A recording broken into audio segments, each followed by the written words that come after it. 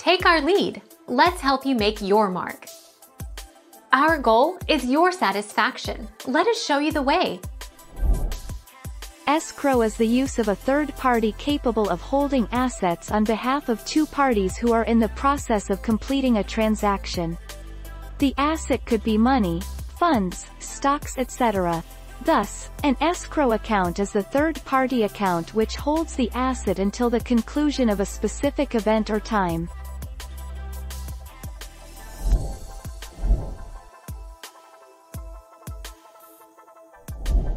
Make your mark. Take our lead.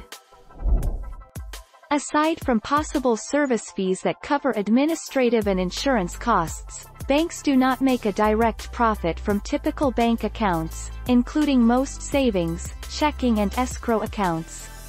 In addition to money earned from loan interest charges, banks have a variety of other ways to accumulate profits.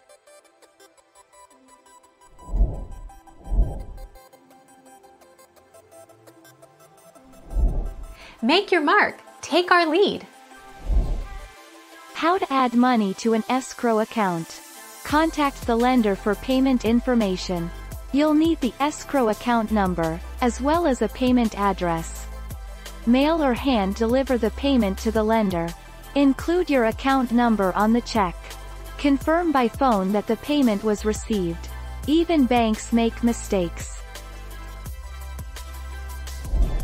Thank you for watching. Please subscribe and hit the bell notification.